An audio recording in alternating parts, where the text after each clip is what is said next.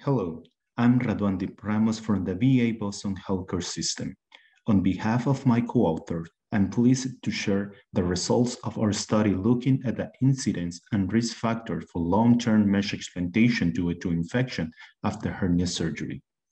This is one of the largest hernia study to date, with over 100,000 abdominal hernia operation. Our goal was to assess risk factors and incidence rate of mesh explantation, as well as describing causative microorganisms. We found that, that within five years after hernia surgery, the incidence of mesh explantation due to infection was 1.5%.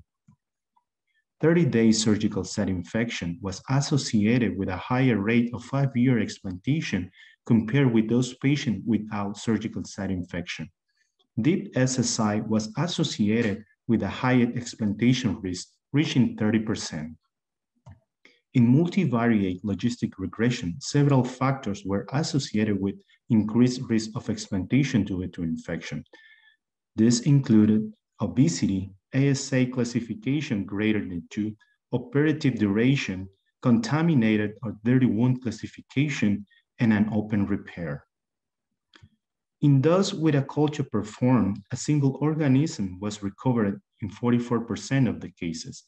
MSSA was the most prevalent, accounting for 45% of all organisms. This was followed by gram-negative, accounting for 26%, and MRSA, accounting for 14% of the organisms. This study reinforced the importance of addressing and optimizing patient risk factor prior to elective hernia surgery. In addition, a strict adherence to SSI prevention guideline is crucial in preventing mesh explantation. With Staph aureus being the most common causative organism, routine testing and decolonization for Staph aureus should be considered. Thank you.